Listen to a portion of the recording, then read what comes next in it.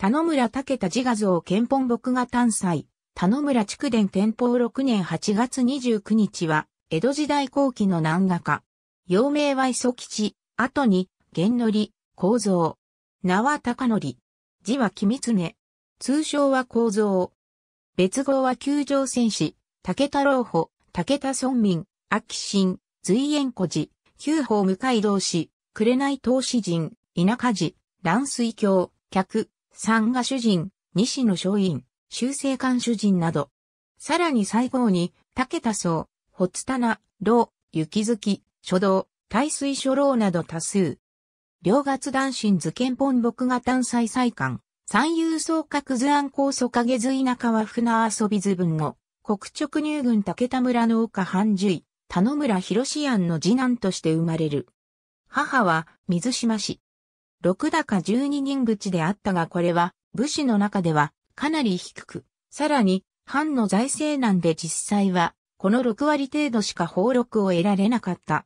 このため竹田は生涯にわたり生活資金の工面に苦労させられることになる。6歳で所読を始め、11歳で藩校医学館で入学。成績は極めて優秀だった。その司祭を見抜いた死の唐橋くんさんは、私文結社竹田社、米戦社の同人に迎えた。翌年、宿屋となった耳病と眼質を発病する。完成6年、18歳の時に母と兄を亡くし、翌年田野村家の着男となり、藩主にまみえた。20歳頃より、淵上極光門の地元画家に画を学び、君山の紹介で、江戸の谷文町に現在でいう通信教育まで受けている。22歳の時遊学館に受院として出資し、最終的には頭取に出立している。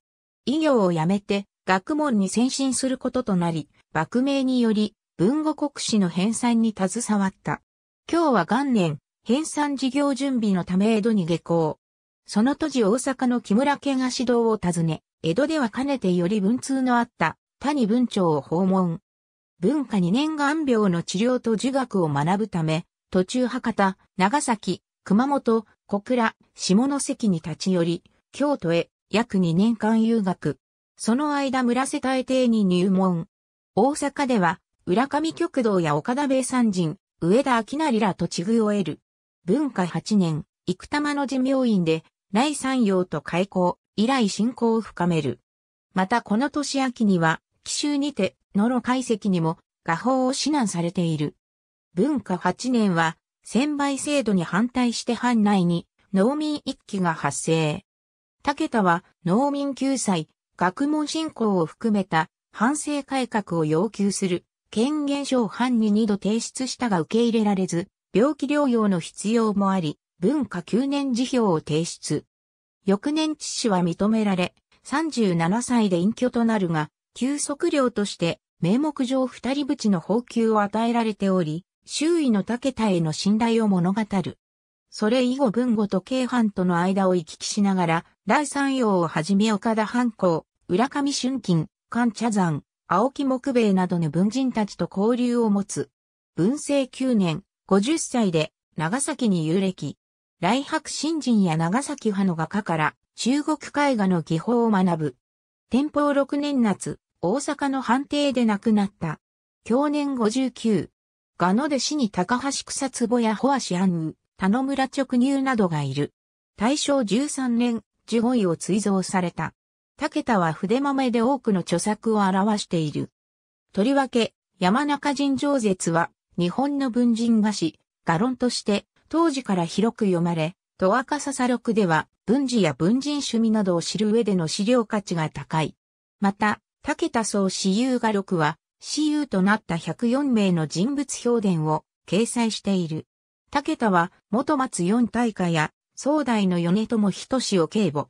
多くの人物との交流から様々な画風を学んだことで、山水図、人物図、花鳥図とその外気を広げ、写実を通して文人画のエッセンスとも言うべき美しいを表現した。晩年は繊細で味わい深い画境に到達し、旺盛に創作をした。現在、竹田の作品は、出光美術館に約200点、大分市美術館に45点、竹田市歴史資料館20点をはじめ、日本各地の24カ所の美術館、博物館に所蔵されている。上記の内大分市美術館所蔵分は、田野村蓄電関係資料の名称で、絵画23件、書籍3件が一括して、重要文化財に指定されている。作品画像のうち、1969年に、暗光素影図1点のみが重要文化財に指定された。その後1994年に他の絵画等を追加指定し、指定名称を田野村蓄電関係資料と改めたものである。ありがとうございます。